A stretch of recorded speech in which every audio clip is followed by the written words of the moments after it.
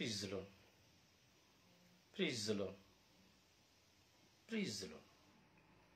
ಪಿತನಿಗೂ, ಸುತನಿಗೂ, ಮತ್ತು ಪವಿತ್ರಾತ್ಮರಿಗೂ ಮಹಿಮೆಯಾಗಲಿ ಆದಿಯಲ್ಲಿದ್ದ ಹಾಗೆ ಈಗಲೂ, ಯಾವಾಗಲೂ, ಸದಾಕಾಲಕ್ಕೂ ಸ್ತೋತ್ರ ಉಂಟಾಗಲಿ ಪ್ರೀಸಲು ಪ್ರೀಸಲು ಪ್ರಭು ಯೇಸುವಿನಲ್ಲಿ ನನ್ನ ಪ್ರಿಯ ಸಹೋದರ ಸಹೋದರಿಯರೇ, ದೇವರ ಮಕ್ಕಳೇ ಪ್ರಭು ಯೇಸುಕ್ರಿಸ್ತನ ಕೃಪಾಶೀರ್ವಾದವು ದೇವರ ಪ್ರೀತಿಯು, ಪವಿತ್ರ ಆತ್ಮರ ನಿಮ್ಮೆಲ್ಲರೊಡನೆ ಇರಲಿ. ಪ್ರೀಸಲು ಪ್ರೀಸಲು ಪ್ರಿಯರೇ, ಈ ಒಂದು ಸುಂದರವಾದ ಸಮಯ, ಮೂರುವರೆ ಗಂಟೆಯ ಸ್ವರ್ಗೀಯ ಮನ್ನ ಸಮಯ. ನಾವು ಈಗಾಗಲೇ ಎಪ್ಪತ್ತ ನಾಲ್ಕು ಭಾಗಗಳನ್ನ ನಾವು ಮುಗಿಸಿ ಹೋಗಿದ್ದೇವೆ ಪ್ರಕಟಣ ಗ್ರಂಥ ಎಪ್ಪತ್ತ ಐದನೆಯ ಭಾಗವನ್ನ ನಾವು ಚಿಂತನೆಗೆ ಒಳಗಾಗ್ತಾ ಇದೆ, ಚಿಂತನೆಗೆ ತೆಗೆದುಕೊಳ್ತಾ ಇದ್ದೇವೆ. ಕಳೆದ ಎಪಿಸೋಡ್ನಲ್ಲಿ ಎಪ್ಪತ್ತ ನಾಲ್ಕನೇ ಎಪಿಸೋಡ್ನಲ್ಲಿ ಅಲ್ಲಿ ವ್ಯಕ್ತಿಗಳನ್ನ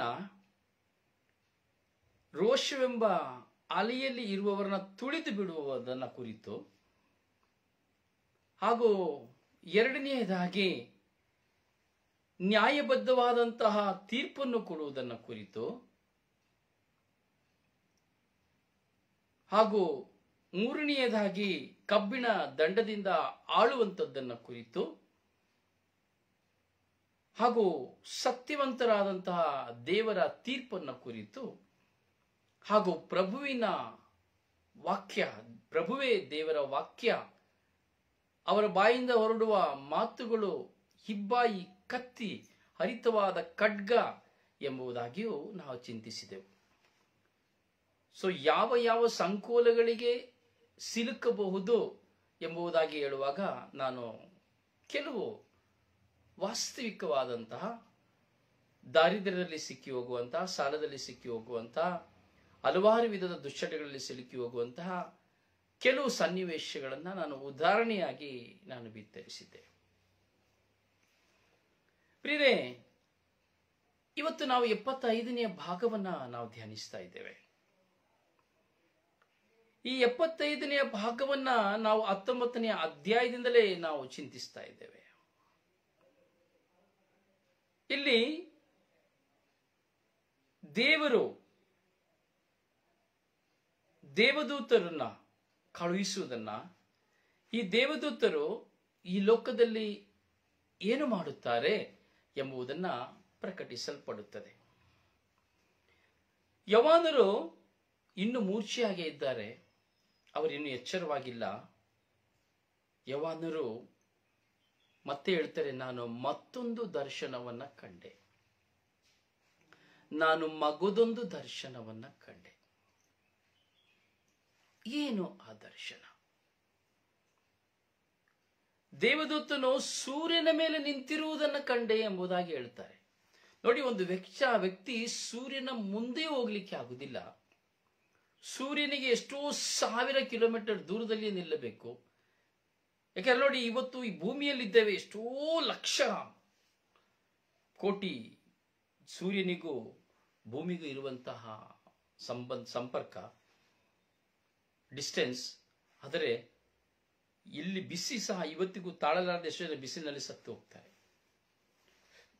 ಹೀಗಿರುವಾಗ ದೇವದೂತರು ಸೂರ್ಯನ ಮೇಲೆ ಒಂದು ದೂತನನ್ನ ನಿಲ್ಲಿಸಿರುತ್ತಾರೆ.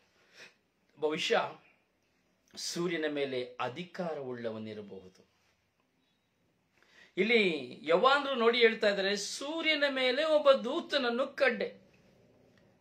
ದೇವದೂತನನ್ನ, ಅಂದ್ರೆ ದೇವದೂತನನ್ನಲ್ಲ, ದೇವದೂತನನ್ನು ನಾನು ಕಂಡೆ. ಅವನು ಸೂರ್ಯನ ಮೇಲೆ ನಿಂತುಕೊಂಡಿದ್ದ.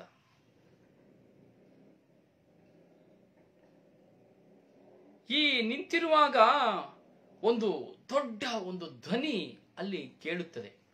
ಆ ಧ್ವನಿಯನ್ನ ಯವಾನರು ಸಹ ಕೇಳುತ್ತಾರೆ. ಆ ಧ್ವನಿಯನ್ನ ಯವಾನರು ಸಹ ಕೇಳುತ್ತಾರೆ. ಮಧ್ಯ ಆಕಾಶದಲ್ಲಿ ಮೇಲೆ ಎಲ್ಲ ಕೆಳಗೆ ಎಲ್ಲ ಮಧ್ಯ ಆಕಾಶದಲ್ಲಿ ನೋಡಿ, ಯೇಸು ಸ್ವಾಮಿಯನ್ನು ಸಹ ಪುನರಾಗಮಿಸುವಾಗ ನಾವು ನೋಡ್ತೇವೆ ಯೇಸು ಸ್ವಾಮಿ ಹಿಂತಿರುಗಿ ಬರುವರು ಮಧ್ಯ ಆಗಸದಲ್ಲಿ ಕಾಣಿಸಿಕೊಳ್ಳುವರು. ಯಾವುದು ಈ ಮಧ್ಯ ಆಕಾಶ ಇರುವುದೊಂದೇ ಆಕಾಶ, ಇದಾವುದು ಮಧ್ಯಾಕಾಶ ಪ್ರಿಯರೇ, ಮಧ್ಯಾಕಾಶ ಅಂದರೆ ಈ ಭೂಮಿ. ಆಕಾಶ ಮೇಲೆ ಪಾತಾಳ ಕೆಳಗೆ. ಮಧ್ಯಾಕಾಶ ಎಂದರೆ ಈ ಭೂಮಿ. ಈ ಭೂಮಿಯಿಂದ ಆಕಾಶಕ್ಕೆ ಎಷ್ಟು ಎತ್ತರವಿದೆಯೋ ಹಾಗೆ ಭೂಮಿಯಿಂದ ಪಾತಾಳದ ಅಂತ್ಯದವರೆಗೂ ಅಷ್ಟೇ ಆಳವಿದೆ. ಹೀಗೆ ಮಧ್ಯಾಕಾಶ ಅಂದರೆ ಈ ಭೂಮಿ, ನಾವು ವಾಸ ಮಾಡುವಂತಹ ಭೂಮಿ. ಮಧ್ಯಾಕಾಶದಲ್ಲಿ ಹಾರಾಡುವ ಪಕ್ಷಿಗಳಿಗೆ ಹೀಗೆ ಹೇಳಿದನು. ದೇವರ ದೇವರ, ದೊಡ್ಡ ಔತಣಕ್ಕೆ ಕೂಡಿ ಬನ್ನಿ. ದೇವರ, ದೊಡ್ಡ ಔತಣಕ್ಕೆ ಕೂಡಿ ಬನ್ನಿ. ದೇವರು ಔತಣವನ್ನು ನಿರ್ಮಿಸ್ತಾ ಇದ್ದಾರೆ, ಮಾಡ್ತಾ ಇದ್ದಾರೆ. ಅದರಿಂದ ಎಲ್ಲ ಪಕ್ಷಿಗಳನ್ನ ಎಲ್ಲ ಪಕ್ಷಿಗಳನ್ನ ಕರೆಯುತ್ತಾ ಇದ್ದಾರೆ. ದೇವರು ಔತಣ ಏರ್ಪಡಿಸ್ತಾ ಇದ್ದಾರೆ. ಬನ್ನಿ. ಆಕಾಶದಲ್ಲಿ ಮೇಲೆ ಆಹಾರ ಸಿಕ್ಕುದಿಲ್ಲ ಭೂಮಿಯಲ್ಲಿ ಇರುವುದರಿಂದನೇ ಹೇಳ್ತಾ ಇರೋದು. ಭೂಮಿಯಲ್ಲಿರುವಂತಹ ಮನುಷ್ಯನನ್ನ ಕುರಿತು ಇಲ್ಲಿ ಹೇಳ್ತಾ ಇರುವಂಥದ್ದು. ಬೇರೆ ಯಾವ ವ್ಯಕ್ತಿಗಳನ್ನೆಲ್ಲ ಮಧ್ಯಾಕಾಶ ಅಂದ್ರೆ ಭೂಮಿ. ಆಕಾಶಕ್ಕೂ ಭೂಮಿಗೂ ಅಂದರೆ ಪಾತಾಳಕ್ಕೂ ಮಧ್ಯಭಾಗ ಭೂಮಿ. ಹೀಗೆ ಆ ಮಧ್ಯಾಕಾಶದಲ್ಲಿ ಕೂಡಿ ಬನ್ನಿ ಎಂಬುದಾಗಿ ಆ ದೇವದೂತನ ಔತಣಕ್ಕೆ ಕೂಡಿ ಬನ್ನಿ ಎಂಬುದಾಗಿ ಕರೆಗೊಳ್ತಾ ಇದ್ದಾರೆ.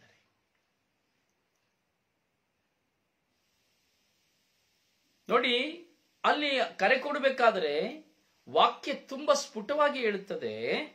ಏನ್ ಹೇಳುತ್ತದೆ ಅಂದ್ರೆ, ರಾಜರುಗಳು, ರಾಜರುಗಳ ಮಾಂಸವನ್ನು, ಸೇನಾಧಿಪತಿಗಳ ಮಾಂಸವನ್ನು, ಪರಾಕ್ರಮಶಾಲಿಗಳ ಮಾಂಸವನ್ನು ತಿನ್ನಲು ಬನ್ನಿ. ರಾಜರುಗಳ ಮಾಂಸವನ್ನು, ಪರಾಕ್ರಮಿಗಳ ಮಾಂಸವನ್ನು ಹಾಗೂ ಸೇನಾಧಿಪತಿಗಳ ಮಾಂಸವನ್ನು ತಿನ್ನ ಬನ್ನಿ. ರಾಜ, ಪರಾಕ್ರಮಿ ಸೇನಾಧಿಪತಿಗಳು. ನೋಡಿ, ಇವತ್ತು ಲೋಕದಲ್ಲಿ ಮನು, ಹೆಚ್ಚು ಆಸೆ, ಅತಿ ಆಸೆ ಎಂಬುದು ಉಲ್ಪಣವಾದದ್ದು ರಾಜರುಗಳಲ್ಲಿ. ತನ್ ಪಕ್ಕದ ರಾಜ್ಯಗಳನ್ನು ಸ್ವಂತವಾಗಿಸಿಕೊಳ್ಳಬೇಕೆಂದು ರಾಜ್ಯ ರಾಜರುಗಳು ಆದಿ ಕಾಲದಿಂದ ಸಾವಿರಾರು ಲಕ್ಷಾಂತರ, ಕೋಟ್ಯಾಂತರ ಜನರನ್ನ ಬಲಿ ಕೊಟ್ಟರು ಅವರೆಲ್ಲರೂ ಕೊಲ್ಲಲ್ಪಟ್ಟವರು. ಸೈನಿಕರಾಗಿ ಯುದ್ಧದಲ್ಲಿ ಮಡಿಯಲ್ಪಟ್ಟವರೆಲ್ಲರೂ ಕೊಲೆ ಪಡ್, ಕೊಲೆ, ಕೊಲ್ಲಲ್ಪಟ್ಟವರು, ಕೊಲೆಗೈಯಲ್ಪಟ್ಟವರು. ಅವರಿಗೆ ಒಳ್ಳೆಯ ಮರಣ ಸಿಕ್ಕಲಿಲ್ಲ. ನೋಡಿ, ನಮ್ಮ ಮೈಸೂರಿನಲ್ಲಿಯೂ ಸಹ ಯದುವಂಶದ ರಾಜರುಗಳನ್ನ ನಾವು ನೋಡ್ತೇವೆ. ನಾಲ್ಮಡಿ ಕೃಷ್ಣರಾಜದೇವ ಒಡೆಯರ್. ಹೀಗೆ ಕಳೆದ ಕಾಲದವರೆಗೂ ಶ್ರೀಕಂಠದತ್ತ ಒಡೆಯರ ತಂದೆಯ ತಂದೆಯ ಇಂದಿನ ಕಾಲದವರೆಗೂ ಯುದ್ಧಗಳಿದ್ದವು ರಾಜ್ಯ ರಾಜ್ಯಗಳಿಗಾಗಿ ರಾಜ್ಯಗಳನ್ನು ಸ್ವಂತವಾಗಿಸಿಕೊಳ್ಳುವುದಕ್ಕಾಗಿ ಒಂದೊಂದು ದೇಶಗಳನ್ನ ಅವರು ಸಂಹರಿಸಿದರು. ಕೋಟ್ಯಾಂತರ ಸೈನಿಕರು ಈ ಲೋಕದಲ್ಲಿ ಸತ್ತಿದ್ದಾರೆ. ಮಿಲಿಯಾಂತರ ಸೈನಿಕರು ಸತ್ತಿದ್ದಾರೆ. ಕೊಲೆಗೈಯಲ್ಪಟ್ಟು ಮಾತ್ರವೇ.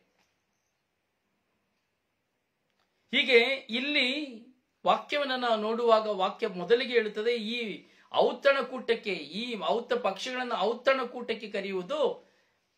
ಪಕ್ಷಿಗಳನ್ನು ಈಗಿರುವಾಗ ಯಾರನ್ನ? ಒಂದು ರಾಜರುಗಳ ಮಾಂಸವನ್ನು ತಿನ್ನಲಿಕ್ಕೆ ಸೇನಾಧಿಪತಿಗಳ ಮಾಂಸವನ್ನು ತಿನ್ನಲಿಕ್ಕೆ ಪರಾಕ್ರಮಿಗಳ ಮಾಂಸವನ್ನು ತಿನ್ನಲಿಕ್ಕೆ ಇಲ್ಲಿ ಕಾರ್ಯವನ್ನು ಕೊಡ್ತಾರೆ. ನಾಲ್ಕನೆಯದಾಗಿ ನಾವು ನೋಡ್ತೇವೆ ಕುದುರೆಗಳ ಮಾಂಸವನ್ನು ತಿನ್ನುವುದಕ್ಕೆ ರಾಹುತರ ಮಾಂಸವನ್ನ ಉಣ್ಣ ಬನ್ನಿ ಕುದುರೆಗಳ ಮಾಂಸವನ್ನು, ರಾಹುತರ ಮಾನಸ, ಮಾಂಸವನ್ನು, ಅಂದರೆ ಕುದುರೆಗಳ ಮೇಲೆ ಇರುವಂತವರನ್ನ ಹಾಗೂ ಆನೆಗಳ ಮೇಲೆ ಇರುವವರ ಮಾಂಸವನ್ನು ಸಹ ತಿನ್ನಲು ಬಂದಿರಿ ದೇವದೂತನು ಕರೆ ಕೊಡುವುದನ್ನ ಯವ್ವಾಂದರು ಕೇಳುತ್ತಾ ಇದ್ದಾರೆ.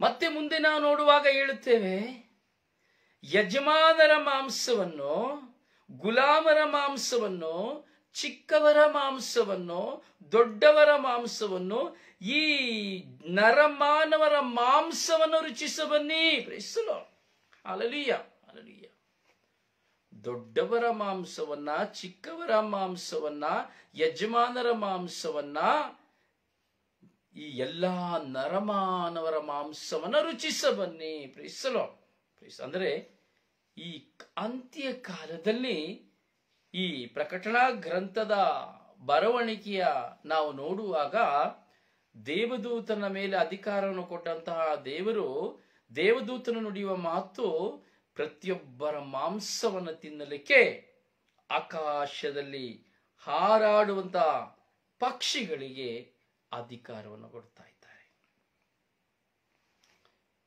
ನೋಡಿ ಲೋಕದಲ್ಲಿ ಒಂದು ಏನೇ ಪ್ರಾಣಿ ಸತ್ತವಿದ್ದರೂ ಅದನ್ನು ತಿನ್ನುವುದು ಪಕ್ಷಿಗಳು.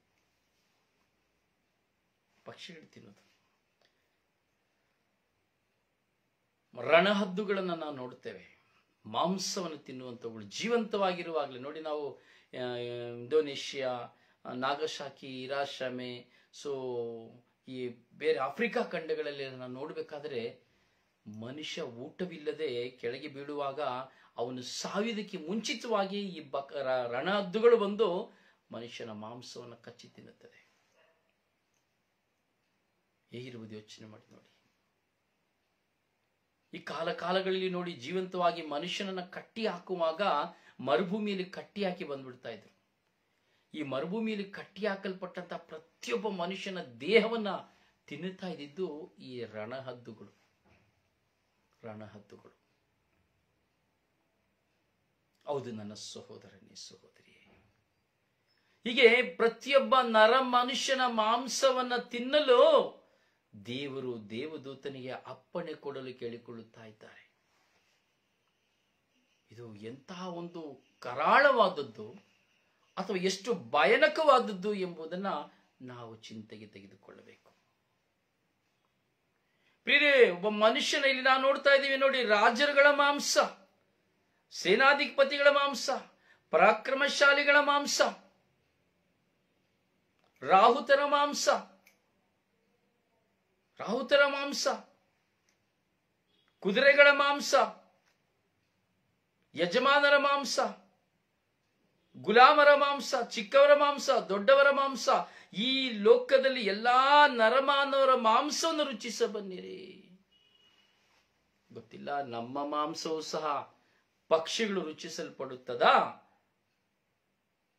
ಅಥವಾ ಮಣ್ಣಿನಲ್ಲಿ ಮಣ್ಣಾಗಿ ಸೇರಿ ಹೋಗುತ್ತೇವಾ? ಪ್ರಿಯರ, ಮಣ್ಣಿನಲ್ಲಿ ಮಣ್ಣಾಗಿ ಸೇರಿದರೂ ನಮ್ಮ ಮಾಂಸಗಳು ತಿನ್ನಲ್ಪಡುತ್ತದೆ. ಒಬ್ಬ ಮನುಷ್ಯ ಮಣ್ಣಲ್ಲಿ ಮಣ್ಣಾಗಿ ಹೋದರೂ, ಸತ್ತು ಹೋದರೂ ಅವನ ಮಾಂಸವು ತಿನ್ನಲ್ಪಡುತ್ತದೆ. ದೇಹದಿಂದಲೇ ಹುಳಗಳು ಉತ್ಪತ್ತಿಯಾಗಿ ಒಬ್ಬ ಮನುಷ್ಯನು, ಅಲ್ಲಿ ನಾಶ, ಮನುಷ್ಯನ ಶರೀರವು ನಾಶವಾಗುತ್ತದೆ. ಪ್ರಿಸಲೋ ಪ್ರಿಸಲೋ ಪ್ರಿಸಲೋ ಪ್ರಿ ಹೀಗೆ ಒಂದನೆಯ ಸನ್ನಿವೇಶದಲ್ಲಿ ಈ ಯವಾನರು ಈ ದರ್ಶನವನ್ನು ಕಾಣುವಾಗ ಮತ್ತೆ ಹತ್ತೊಂಬತ್ತನೇ ಅಧ್ಯಾಯದ ಹತ್ತೊಂಬತ್ತನೇ ವಾಕ್ಯಗಳನ್ನ ಧ್ಯಾನಿಸಿ ಬರುವಾಗ ಒಂದು ಮೃಗವನ್ನ ಮತ್ತೆ ಯವಾನರು ಕಾಣುತ್ತಾರೆ. ಒಂದು ಮೃಗವನ್ನ ಯವಾನರು ಕಾಣುತ್ತಾರೆ. ಕುದುರೆಯಲ್ಲಿ ಕುದುರೆಯಲ್ಲಿ ಕುಳಿತಿರುವಂತವನ್ನ ಈ ಕುದುರೆಯಲ್ಲಿ ಕುಳಿತವನ್, ಕುಳಿದಾತ, ಕುಳಿತಿದ್ದಾತನ ಮೇಲೂ, ಅವನ ಸೈನ್ಯದ ಮೇಲೆ ಯುದ್ಧ ಮಾಡುವುದಕ್ಕಾಗಿ ಆ ಮೃಗವು, ಭೂಲೋಕದ ರಾಜ್ಯರು ಅವರ ಸೈನ್ಯಗಳೊಡನೆ ಒಟ್ಟಾಗಿ ಸೇರಿ ಬಂದರು. ಭೂಲೋಕದ ರಾಜ್ಯರು ಹಾಗೂ ಮೃಗ ಇಬ್ಬರು ಸಹ ಯುದ್ಧ ಮಾಡಲು ಯಾರು ಕುದುರೆಯ ಮೇಲೆ ಕುಳಿತಿದ್ದವನ ಮೇಲೆ ಯುದ್ಧ ಮಾಡಲು, ಅವನ ಸೈನ್ಯದ ಮೇಲೆ ಯುದ್ಧ ಮಾಡಲು ಹೊರಟು ಬರುವುದನ್ನು ನಾವು ನೋಡುತ್ತೇವೆ. ಇದೊಂದು ವಿಸ್ಮಯಕಾರಿಯಾದ ಒಂದು ಚಿಂತನೆ. ವಿಸ್ಮಯಕಾರಿಯಾದ ಚಿಂತನೆ. ಇಲ್ಲಿ ಸೈನ್ಯದ ಮೇಲೂ ಕುದುರೆಯಲ್ಲಿ ಕುಳಿತಂತಹ ಯುದ್ಧ ಮಾಡಲು ಬರುವವರ ಮೇಲೆಯೂ, ಆ ಮೃಗವು ಭೂಲೋಕದ ರಾಜರು ಹಾಗೂ ಸೈನ್ಯಗಳನ್ನೇ ಒಂದಾಗಿ ಸೇರಿ, ನೋಡಿ ಇಲ್ಲಿ ಮನುಷ್ಯ ಬರುವಂತಹ ಒಂದು ದೇವದೂತರ ಕುದುರೆ ನಾವು ನೋಡ್ತೇವೆ ನಾವು ಇಂದಿನ ಭಾಗದಲ್ಲಿ ನಾವು ನೋಡಿದೆವು. ಯುದ್ಧ ಮಾಡುವಂತಹ ದೇವದೂತರುಗಳು. ಹೀಗೆ ಅವರೊಡನೆ ಈ ನರಮನುಷ್ಯನು ಯುದ್ಧ ಮಾಡುತ್ತಾನೆ ಎಂಬುದಾಗಿ, ಈ ಸೈತಾನನೊಡನೆ ಸೇರಿ ಯುದ್ಧ ಮಾಡುತ್ತಾನೆ ಎಂಬುದಾಗಿ, ಆ ಮೃಗದೊಡನೆ ಯುದ್ಧ ಮಾಡುತ್ತೆ. ಏನಿದು ಯುದ್ಧ? ಪ್ರಿಯರೇ, ಇದು ನ್ಯಾಯ ಯುದ್ಧ, ಧರ್ಮ ಯುದ್ಧ, ನ್ಯಾಯಕ್ಕಾಗಿ ಹೋರಾಟ, ನ್ಯಾಯದ ಯುದ್ಧ. ಸೈತಾನನು ಅನ್ಯಾಯದ ಪರವಾಗಿ ಯುದ್ಧ ಮಾಡುತ್ತಾನೆ, ಇಲ್ಲಿ ದೇವದೂತರು ನ್ಯಾಯದ ಪರವಾಗಿ ಯುದ್ಧ ಮಾಡುತ್ತಾರೆ. ಪ್ರಿಯರೇ, ಈ ಒಂದು ಘಟನೆಯನ್ನು ನಾವು ಧ್ಯಾನಿಸಬೇಕಾದರೆ ಈ ಭೂಲೋಕದ ರಾಜ್ಯರ ಅವರೊಡನೆ, ಸೈನ್ಯಗಳೊಡನೆ ಒಟ್ಟಾಗಿ ಸೇರಿ ಬರುವಾಗ ಏನಾಗ್ತದೆ?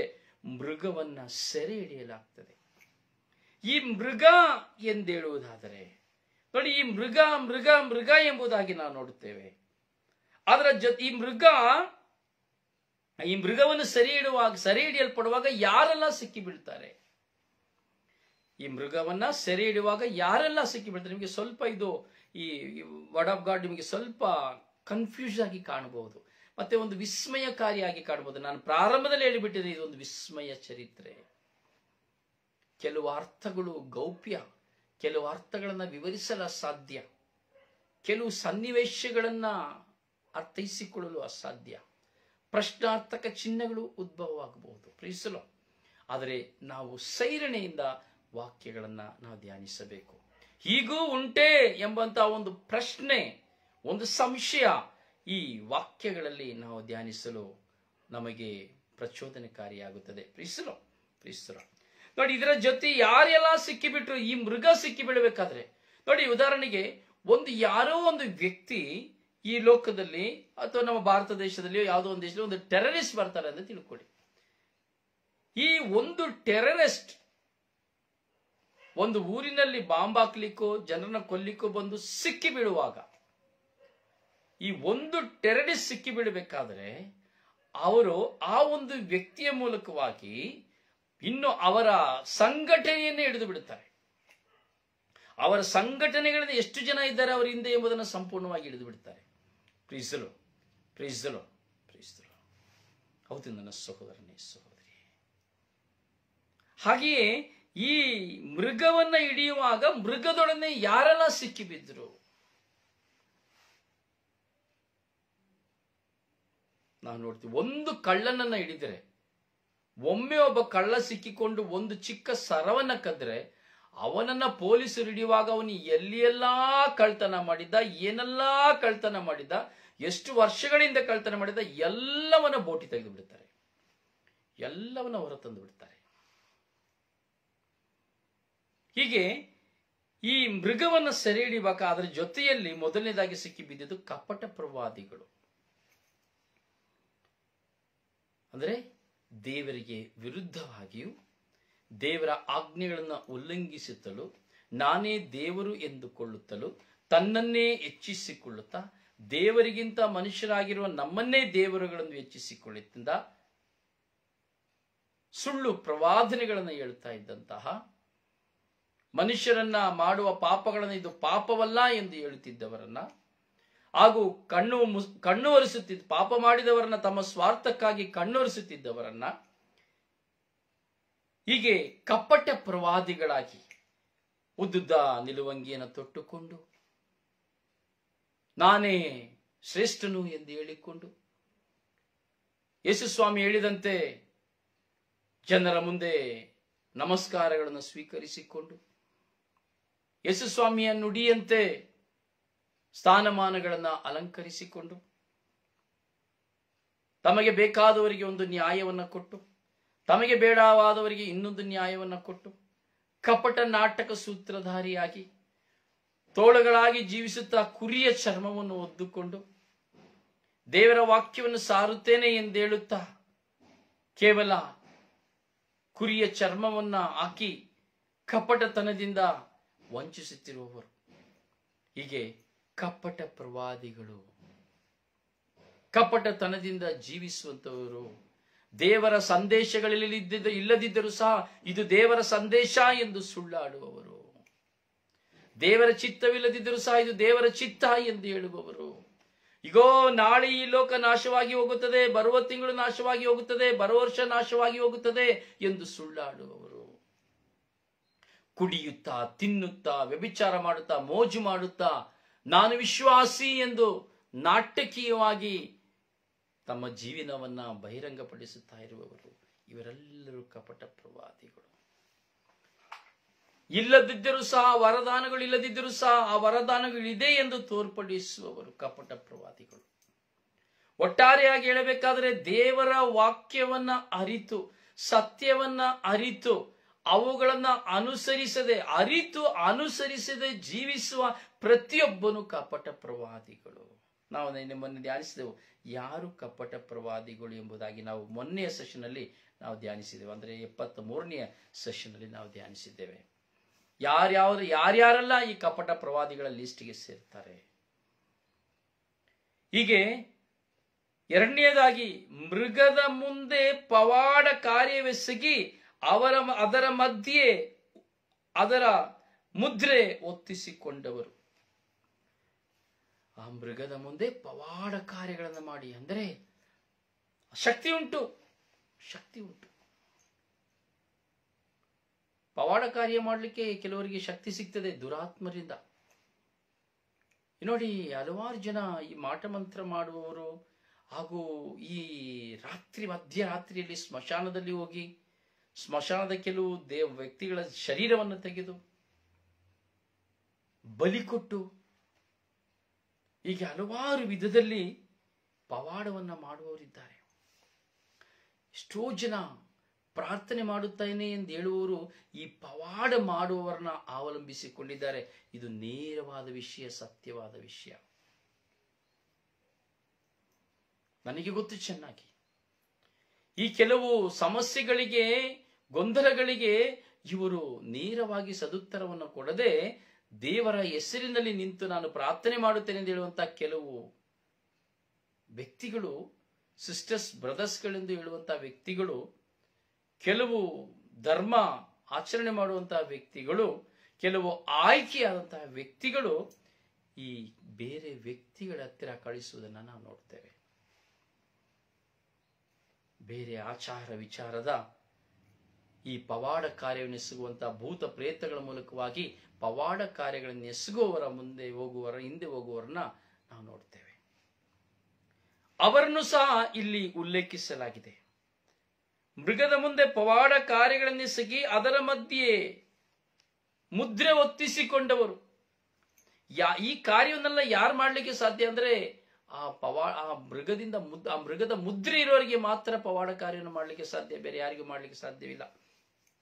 ಅಂದ್ರೆ ಆ ಮೃಗಕ್ಕೆ ಸರೆಂಡರ್ ಆಗಬೇಕು. ಅವರು ತಮ್ಮ ಜೀವಿತವನ್ನ ಬಲಿಯೊಪ್ಪಿಸಬೇಕು. ಎಷ್ಟು ಜನ ಇವತ್ತಿಗೂ ಇದ್ದಾರೆ. ಕೆಲವು ದೇವಾಲಯಗಳಲ್ಲಿ ಕೆಲವು ಕೆಲವು ಗ್ರೂಪ್ಗಳಿದೆ. ಅವರು ತಮ್ಮ ರಕ್ತವನ್ನ, ಒಂದು ತೊಟ್ಟು ರಕ್ತವನ್ನ ವಾರಕ್ಕೆ ಒಮ್ಮೆ, ತಿಂಗಳಿಗೆ ಒಮ್ಮೆ ಆ ದೇವಾಲಯದಲ್ಲಿ ಹೋಗಿ ಬಲಿ ಕೊಡುವಂತವರಿದ್ದಾರೆ. ಕಾರಣ ಏನಂದ್ರೆ, ನನ್ನ, ಅವರ ಎಲ್ಲ ವಿಧವಾದಂತಹ ಹೋರಾಟಗಳಿಗೆ ಬಿಡುಗಡೆ ಹೊಂದುವುದಕ್ಕಾಗಿ, ಅವುಗಳ ಸಮಸ್ಯೆಗಳಿಂದ ಬಿಡುಗಡೆ ಹೊಂದುವುದಕ್ಕಾಗಿ ದೇವರನ್ನು ತೊರೆದು ದುರಾತ್ಮಕ್ಕೆ, ಆ ಮೃಗಕ್ಕೆ ತನ್ನನ್ನೇ ಒಪ್ಪಿಸಿಕೊಡುವುದರ ಮೂಲಕವಾಗಿ, ಇಗೋ, ನಾನು ನನ್ನನ್ನು ಸಂಪೂರ್ಣವಾಗಿ ನಿನಗೆ ಒಪ್ಪಿಸಿಕೊಡುತ್ತೇನೆ, ನನ್ನನ್ನು ನಿಮಗೆ ಒಪ್ಪಿಸಿ ಬಿಡುತ್ತೇನೆ ಎಂಬುದಾಗಿ ಅವರ ಜೀವಿತದ ಆ ಸಮಸ್ಯೆ, ದಾರಿದ್ರ್ಯ, ಹೋರಾಟಗಳ ನಿಮಿತ್ತವಾಗಿ ರಕ್ತವನ್ನ ಬಲಿಕೊಟ್ಟು ಅವರು ಸೈತಾನನೊಡನೆ, ಆ ಮೃಗದೊಡನೆ ಸತ್ಸಂಬಂಧವನ್ನು ಮಾರಿಕೊ, ಮಾಡಿಕೊಳ್ಳುವ ಜಾರಿ ಆದಿ ಕಾಲದಿಂದ ಈ ಕಾಲದವರೆಗೂ ಈಗಲೂ ಸಹ ಇದೆ. ಪ್ರೀಸಲು ಪ್ರೀಸಲು ಪ್ರೀಸಲು ಹೌದು, ನಿಮಗೆ ಕೇಳುವಾಗ ಆಶ್ಚರ್ಯವಾಗಬಹುದು. ಎಷ್ಟೋ ಜನ ಪ್ರಾರ್ಥನೆ ಮಾಡೋರಿದ್ದಾರೆ ಪ್ರಾರ್ಥನೆ ಮಾಡಿ ಮಾಡಿ ಮಾಡಿ ಮಾಡಿ ಬಂದು ಅವರ ಜೀವನದಲ್ಲಿ ದಾರಿದ್ರ್ಯ, ಸಮಸ್ಯೆ, ಕಷ್ಟ, ಹೋರಾಟ ಬರುವಾಗ ಸಹಿಸಲಾಗದೆ ಅವರು ಬೇರೆ ವಿಗ್ರಹಗಳ ಮುಂದೆ ಹೋಗಿ, ಬೇರೆ ದೇವತೆಗಳ ಮುಂದೆ ಹೋಗಿ ಅವರು ತಮ್ಮನ್ನ ಸಮರ್ಪಿಸಿಕೊಳ್ಳುವುದಕ್ಕಾಗಿ ತಮ್ಮ ಬೆರಳುಗಳನ್ನು ಕೊಯ್ದು ಆ ವಿಗ್ರಹದ ಮೇಲೆ ಸುರಿಯುವುದರ ಮೂಲಕವಾಗಿ ನಾನು ನನ್ನನ್ನು ನಿಮಗೆ ಸಮರ್ಪಿಸಿಕೊಳ್ಳುತ್ತೇನೆ ಎಂಬುದಾಗಿ ಆ ಮೃಗದೊಡನೆ, ಆ ವಿಗ್ರಹದೊಡನೆ, ಅನ್ಯ ದೇವತೆ, ದೇವತೆಗಳ ಒಡನೆ ಸತ್ಸಂಬಂಧ ಮಾಡಿಕೊಳ್ಳುವಂತ ಒಂದು ನಿಗೂಢವಾದ ರಹಸ್ಯ ಇಂದಿಗೂ ನಡೆಯುತ್ತಾ ಇದೆ. ಈ ನಿಗೂಢವಾದ ರಹಸ್ಯದಲ್ಲಿ ಎಷ್ಟೋ ಜನ ಕ್ರೈಸ್ತರು ಸಹ ದೇವರನ್ನು ವಿಶ್ವಾಸಿಸುತ್ತೇನೆ ಎಂದು ಹೇಳುವವರು ಸಹ ಕ್ರೈಸ್ತರು ಅಂದ್ರೆ ಎಲ್ಲರೂ ಸೇರಿಬಿಟ್ರು. ಯೇಸು ಕ್ರೈಸ್ತಲ್ಲಿ ವಿಶ್ವಾಸವಿಟ್ಟವರೆಲ್ಲರೂ. ಆದ್ರೆ ಇವತ್ತು ಮೂಢಾತ್ಮ ಜೀವಿತದಲ್ಲಿ ನೋಡಿ, ಕ್ರೈಸ್ತರು ಅಂದ್ರೆ ಆರ್ಸಿ ರೋಮನ್ ಕ್ಯಾಥಲಿಕ್ ಮಾತ್ರ ಅಂತ ಹೇಳ್ತಾರೆ. ಇನ್ನು ಮಿಕ್ಕಿದವ್ರನ್ನೆಲ್ಲ ನಾನು ಈ ಸಭೆ, ಆ ಸಭೆ ಅಂತೇಳಿ ಕಚ್ಚಾಡಿ ಸಾಯ್ತಾ ಇರ್ತಾರೆ. ಇವರು ಸಹ ಒಂದಲ್ಲ ಒಂದು ವಿಧದಲ್ಲಿ ಈ ಕಚ್ಚಾಡುವಂತ ರೋಮನ್ ಕ್ಯಾಥೋಲಿಕ್ ಆಗ್ಬೋದು ಪೆದ್ದಗೋಸ್ತ ಆಗ್ಬೋದು ಸಿ ಎಸ್ ಐ ಆಗ್ಬೋದು, ಅಥವಾ ನ್ಯೂ ಲೈಫ್ ಆಗ್ಬೋದು ಪ್ರೊಟೆಸ್ಟೆಂಟ್ ಆಗ್ಬೋದು, ಬೇರೆ ಸಾವಿರಾರು ಸಭೆಗಳು ಯಾರೇ ಆಗಿರ್ಬೋದು, ಇವರೆಲ್ಲರೂ ಒಂದಲ್ಲ ಒಂದು ರೀತಿಯಲ್ಲಿ ತಮ್ಮನ್ನು ಹೆಚ್ಚಿಸಿಕೊಳ್ಳುವುದಕ್ಕಾಗಿ, ತಮ್ಮನ್ನು ತೋರ್ಪಡಿಸಿಕೊಳ್ಳುವುದಕ್ಕಾಗಿ, ತಮ್ಮನ್ನು ಕಟ್ಟಿಕೊಳ್ಳುವುದಕ್ಕಾಗಿ ತಮ್ಮನ್ನೇ ತಮ್ಮನ್ನೇ ದೇವರಿಗೆ ಒಪ್ಪಿಸಿಕೊಡುವುದಕ್ಕೆ ಬದಲಾಗಿ ಸ್ವಾರ್ಥವೆಂಬ ಸ್ವಭಾವದಿಂದ ಮತ್ತೊಬ್ಬರನ್ನು ತುಳಿಯುತ್ತಾ, ಮತ್ತೊಂದು ಸಭೆಯ ಬಗ್ಗೆ ಹೀನವಾಗಿ ಮಾತನಾಡುತ್ತಾ, ಮತ್ತೊಬ್ಬ ಯಾಜಕನ ಮೇಲೆ, ಕನ್ಯಾಸ್ತ್ರಿ ಮೇಲೆ, ಸಭಾಪಾಲಕನ ಮೇಲೆ, ಪಾಸ್ಟರ್ಸ್ನ ಮೇಲೆ, ಶುಶ್ರೂಷಕನ ಮೇಲೆ ಅಪವಾದಗಳನ್ನು ಹೊರಿಸುತ್ತಾ, ಅವನು ಮಾಡುವ ಕಾರ್ಯಗಳ ಮೇಲೆ, ಅವನಿಂದ ಜರುಗುವ ಅದ್ಭುತಗಳ ಮೇಲೆ, ಅವನ ಮೇಲೆ ಇಲ್ಲ ಸಲ್ಲದ ಅಪವಾದಗಳನ್ನು ಹೊರಿಸುತ್ತಾ ಸ್ವಾರ್ಥ ಬದುಕಿನಿಂದ ಇನ್ನೊಬ್ಬರನ್ನು ತುಳಿದು ತಾನು ಹೆಚ್ಚಿಸಿಕೊಳ್ಳಬೇಕು ಎಂದೇಳುವ ಪ್ರತಿಯೊಬ್ಬನು ಕಪಟ ಪ್ರವಾದಿಯಾಗಿರುತ್ತಾನೆ ಇವನು ಆ ಮೃಗದೊಡನೆ ಸತ್ಸಂಬಂಧವಾಗಿರುತ್ತಾನೆ.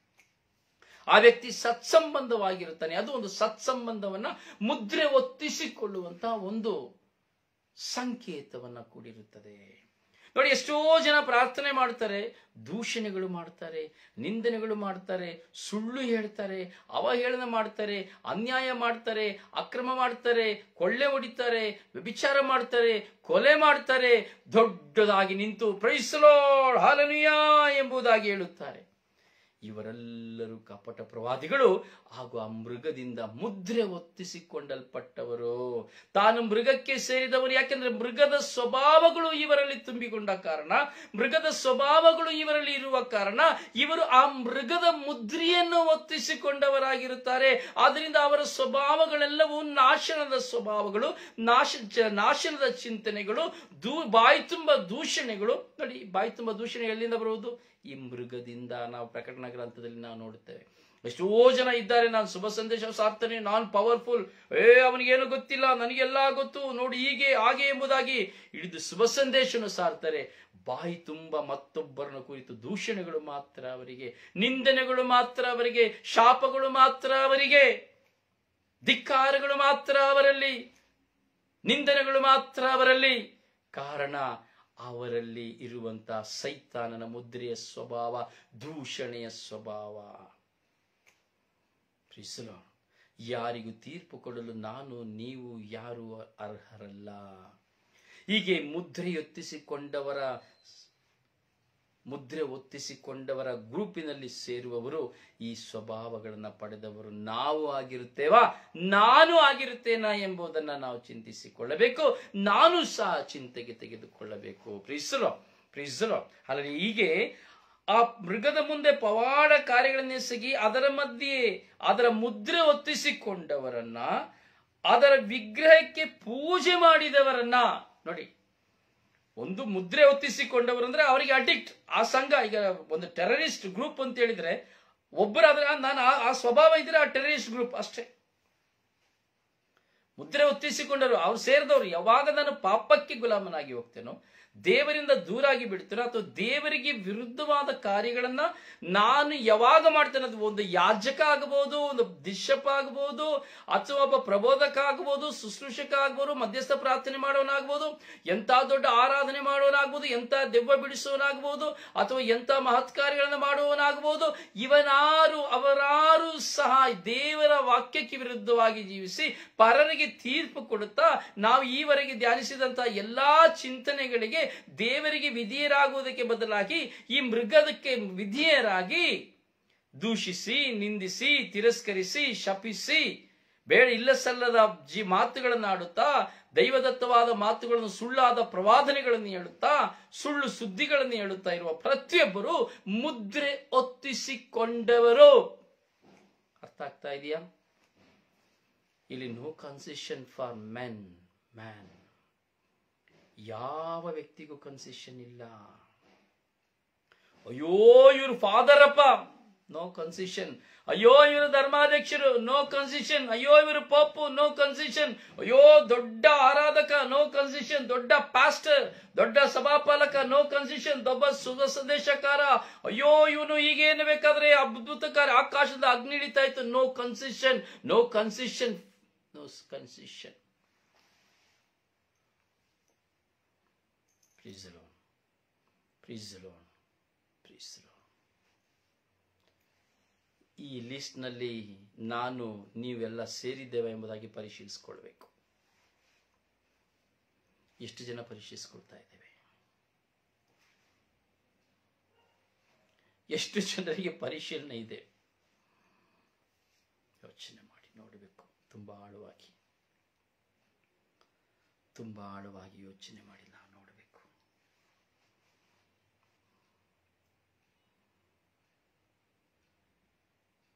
ನಮಗೆಲ್ಲ ಗೊತ್ತಿಲ್ಲ.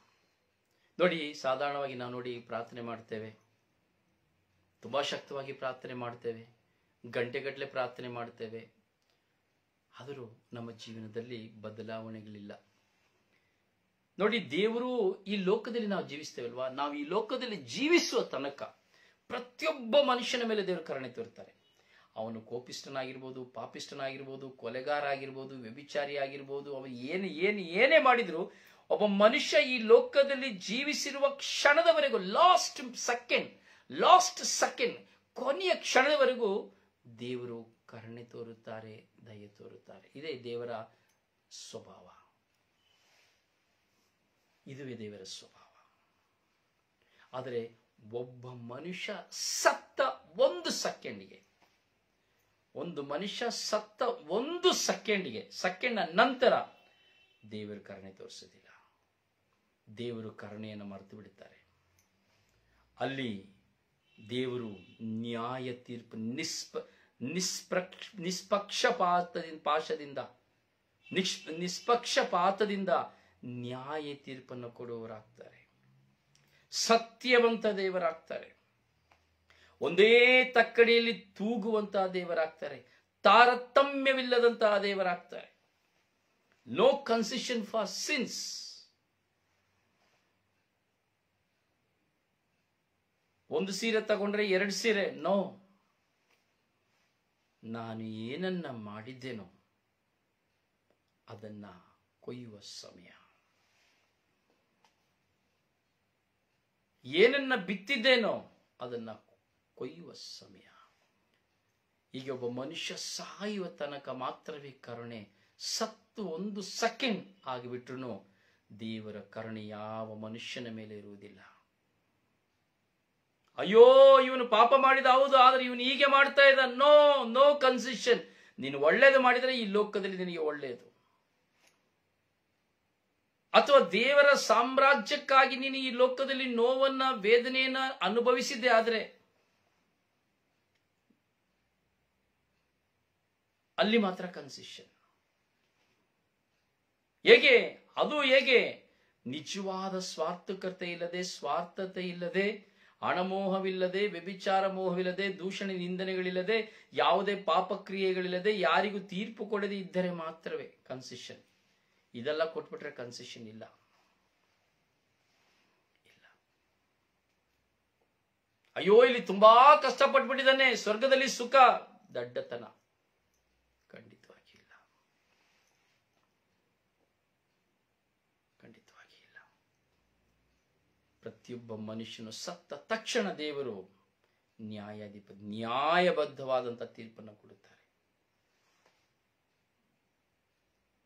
ಅದರಿಂದ ಇಲ್ಲಿ ನಾವು ನೋಡ್ತೇವೆ, ಒಂದು ಮೃಗದ ಮುಂದೆ ಪವಾಡ ಕಾರ್ಯವೆಸಗಿದವರು ಎರಡನೇದು ಕಪಟ ಪ್ರವಾದಿಗಳು, ಮೂರನೇದು ಮುದ್ರೆ ಒತ್ತಿಸಿಕೊಂಡವರು ನಾಲ್ಕನೇದಾಗಿ ನಾವು ನೋಡ್ತೇವೆ ಅದರ ವಿಗ್ರಹಕ್ಕೆ ಪೂಜೆ ಮಾಡಿದವರು. ತುಂಬಾ ಜನ ಇದ್ದಾರೆ. ಇವತ್ತಿಗೂ ನಿಮ್ಮ ಮನೆಯಲ್ಲಿ ನಿಮ್ಮ ತಂದೆ ತಾಯಿ ಇರ್ಬೋದು, ನಿಮ್ಮ ಗಂಡ ಹೆಂಡತಿ ಇರ್ಬೋದು, ಅಣ್ಣ ತಮ್ಮ ಇರ್ಬೋದು, ನಿಮ್ಮ ವಿಚಾರಣೆಯಲ್ಲಿ ಇರ್ಬೋದು, ನಿಮ್ಮೆಲ್ಲ ಗೊತ್ತಿರ್ತದೆ. ಎಷ್ಟು ಜನ ವಿಗ್ರಹ ಆರಾಧನೆ ಮಾಡ್ತಾ ಇದ್ದಾರೆ. ವಿಗ್ರಹ ಪೂಜೆ ವಿಗ್ರಹ ಪೂಜೆ ಎಷ್ಟು ಜನ ಮಾಡ್ತಾ ಇದ್ದಾರೆ. ಪ್ರಿಯರಿ, ವಿಗ್ರಹ ಪೂಜೆ ಎರೆಮೀನ ಪುಸ್ತಕ ತೆಗೆದುಕೊಳ್ಬೇಕಾದ್ರೆ ಸರದಿಯಾಗಿ ಬರ್ತದೆ ಯಾವುದ್ಯಾವುದೆಲ್ಲ ವಿಗ್ರಹ ಪೂಜೆ.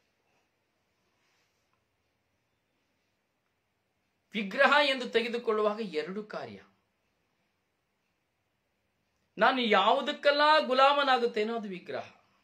ಓಕೆ ನಂಬರ್ ಒನ್ ನಾನು ಯಾವುದಕ್ಕೆಲ್ಲ ಗುಲಾಮನಾಗ್ತೇನೋ, ಯಾವುದೇ ಇರ್ಬೋದು, ಯಾವುದನ್ನ ನಾನು ತುಂಬಾ ಹಚ್ಚಿಸಿಕೊಳ್ತೇನೆ ಅದೆಲ್ಲ ವಿಗ್ರಹನೇ. ಇದಿಲ್ಲದೆ ನಾನು ಇರ್ಲಿಕ್ಕಾಗೋದಿಲ್ಲ ಅದು ಅದು ವಿಗ್ರಹನೇ. ಯಾಕೆ? ಅಯ್ಯೋ, ನನ್ನ ಹೆಂಡತಿ ಇಲ್ಲದೆ ನನಗೆ ಜೀವಿಸ್ಲಿಕ್ಕೆ ಆಗೋದಿಲ್ಲ. ಹೌದು, ದೇವರು ಹೆಂಡತಿನ ಕೊಟ್ಟಿದ್ದಾರೆ, ಆದ್ರೆ ನನ್ನ ಹೆಂಡತಿ ಇಲ್ಲದೆ ಗಂಡ ಇಲ್ಲದೆ ನನಗೆ ಜೀವಿಸ್ಲಿಕ್ಕೆ ಆಗೋದೇ ಇಲ್ಲ ಅವಳಿಲ್ಲದೆ ನನಗೇನೂ ಇಲ್ಲ. ವಿಗ್ರಹ.